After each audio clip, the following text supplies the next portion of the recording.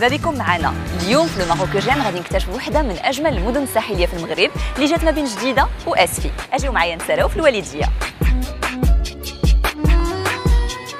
الوالدية بدون شك أهدأ شاطئ في المغرب. الزوار اللي كيتوافدوا عليها كيجيو باش يتبحروا يرتاحوا ويتمتعوا بجمال الشاطئ.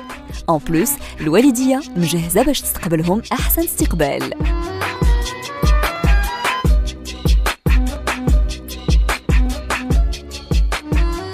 والدية معروفة بالبحيرة ديالها اللي كتميز مناظر طبيعية جميلة. غادي يمكن لكم تمتعوا بها وبالهدوء ديالها. en faisant un tour en bateau غير للتذكير فالمنطقة معروفة بالمحار اللي كيتعتبر من أفضل المحارات على الصعيد الوطني. ما تنساوش تذوقوه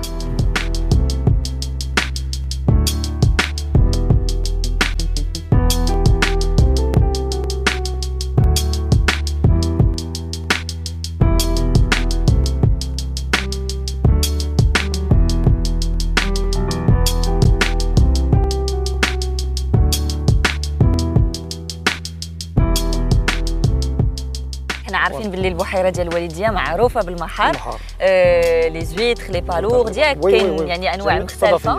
وشنو اللي كيميزها؟ شنو اللي كيميز هاد الصدفيات ديال الوالديه على على مناطق أخرى؟ الصدفيات كيميزها la qualité وغنية بالأملاح المعدنيه وخاصة اليود. من إمتى والمحار كاين في الوالدية؟ تقريبا من إمتى دخل أواخر الستينات أواخر تقريبا أنتم جمعيه الحمد كتحاولوا تنظموا ولا حاولتوا تنظموا من هذه سنتين؟ آه يعني هاد لا كولتور ديال لي زويت. الأنشطة جميع الأنشطة ديال الصدفيات. أييه. بين فيها كن كن كنظموا الاشتغال ديال الناس اللي اللي كيشتغلوا في هذه في هذه الأنشطة. من جهة ثانية كنحاولوا كنسقوا بين الوزارة وبين هاد الناس اللي كيشتغلوا في في في هذه الأنشطة. كنحاولوا ننظموهم وكنديروا أيام دراسية وايام ولقاءات. الوالدية ماشي غير une station balnéaire هي مدينة عندها تاريخ عريق كيرجع القرون.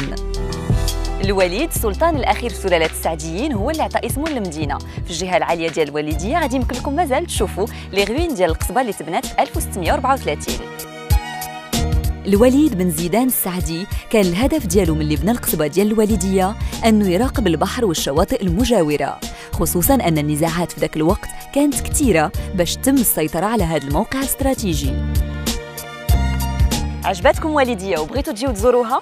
إلا احتاجيتوا المعلومات أكثر أو بغيتوا des bons plans des adresses d'hôtels de restaurants ما عليكم غير تزوروا موقعنا على الإنترنت www.lemarocogem.com à bientôt